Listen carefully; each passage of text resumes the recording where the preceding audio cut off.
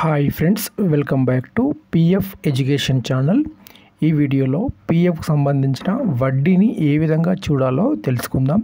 కొందరు పిఎఫ్ ఖాతాదారులు ఏంటంటే ఫైవ్ ఇయర్స్ నుంచి డ్యూటీ చేస్తూ ఉంటారు కొందరు టెన్ ఇయర్స్ ట్వంటీ ఇయర్స్ నుంచి కూడా డ్యూటీ చేస్తూ ఉంటారు. కానీ ఎప్పుడు కూడా వారు వడ్డీ అనేది చూసుకోరు. వారికి ఎంత ఇంట్రెస్ట్ వస్తుంది అనేది చూసుకోరు. ఈ వీడియోలో మీకు చూపిస్తాను. ఇయర్ బై ఇయర్ ఏ ఏ ఇయర్లో ఎంత వడ్డీ జమ అయిందో ఇక్కడ మీకు చూపిస్తాను.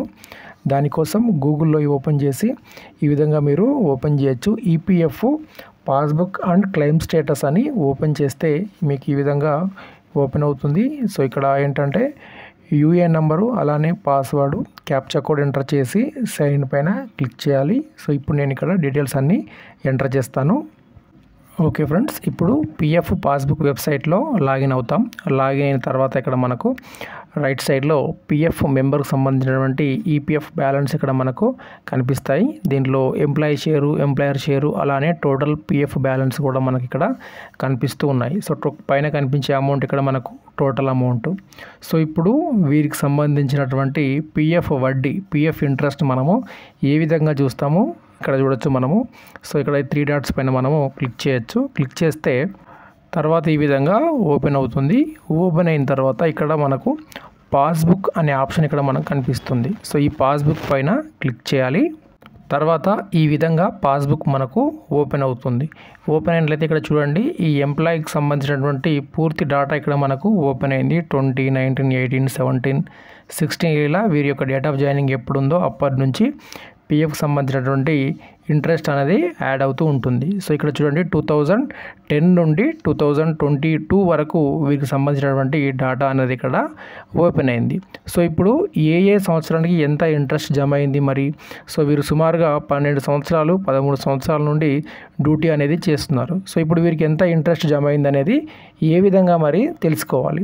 సో దానికోసం ఇక్కడ చూడండి. ఫస్ట్ నేను ఇక్కడ టూ థౌజండ్ ట్వంటీ టూ పైన నేను ఇక్కడ క్లిక్ చేస్తాను. ఇక్కడ చూడండి ఇక్కడ. సో ఇక్కడ టూ థౌజండ్ ట్వంటీ టూ ఉంది కదా. ఈ ట్వంటీ టూ మీద నేను ఇప్పుడు క్లిక్ చేస్తున్నాను.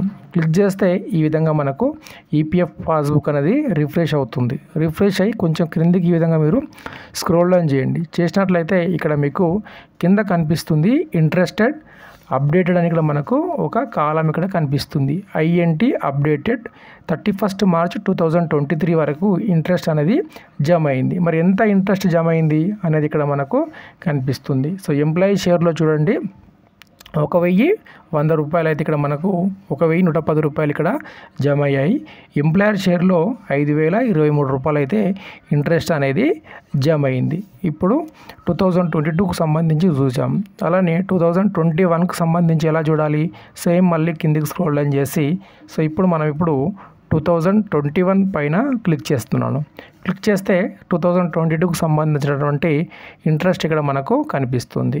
ఇప్పుడు పూర్తిగా మళ్ళీ మనం క్రిందికి స్క్రోల్ అని చేస్తున్నాను. చేసిన తర్వాత ఇక్కడ మీరు ఇప్పుడు చూడవచ్చు.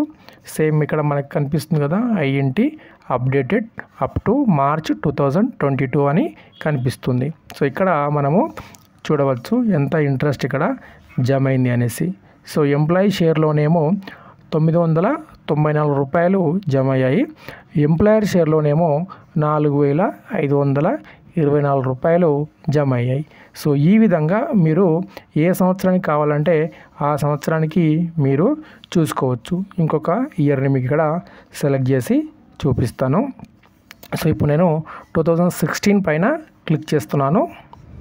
సో ఇక్కడ మనకు సిక్స్టీన్కి సంబంధించినటువంటి పూర్తి డేటా ఇక్కడ ఓపెన్ అయింది. ఇప్పుడు నేను కొంచెం క్రిందికి స్క్రోల్ డౌన్ చేసినట్లయితే ఇక్కడ మనకు కనిపిస్తుంది. ఇక్కడ మీకు ఫస్ట్ ఇక్కడ మీరు ఇది చూసుకోవాలి. INT updated. ఐఎన్టీ అంటే interest updated up to two thousand seventeen March thirty first వరకు జమ అయింది. మరి ఎంత జమ అయింది? ఎలా తెలుస్తుంది? సో ఇక్కడే మనకు చూపిస్తున్నాను. సో ఇక్కడ మనకు కనిపిస్తుంది ఎంప్లాయీ షేర్లో ఎంత జమ అయింది? Eight thousand two forty nine rupees. Employer షేర్లో three thousand fifty nine rupees. So ఈ విధంగా మనకు ఇంట్రెస్ట్ అనేది ఈపీఎఫ్ఓ ప్రతి సంవత్సరం మనకు యాడ్ చేస్తూ ఉంటుంది. సో దీన్ని మీరు కావాలంటే విత్డ్రా చేసుకోవచ్చు. అడ్వాన్స్ రూపంలో దాంట్లో ఇంట్రెస్ట్ కలిపి కూడా అమౌంట్ అనేది విత్డ్రా చేసుకోవచ్చు. ప్రస్తుతం మనకు ఎయిట్ పాయింట్ వన్ జీరోగా ఇంట్రెస్ట్ రేట్ అనేది ఉండింది. ఓకే? చాలామందికి డౌట్ ఉంటుంది అసలు నాకు ఇంట్రెస్ట్ యాడ్ అవ్వట్లేదు యాడ్ అవుతుందా లేదా అని ఉంటుంది. తప్పకుండా అందరికీ యాడ్ అవుతుంది కొందరికి అప్డేట్ కావడంలో లేట్ అప్డేట్ అవుతుంది. కానీ ఈ వడ్డీ అనేది జమ అవుతుంది. ఓకే ఫ్రెండ్స్ ఇదండి వీడియో. లైక్ చేయండి సబ్స్క్రైబ్ చేయండి.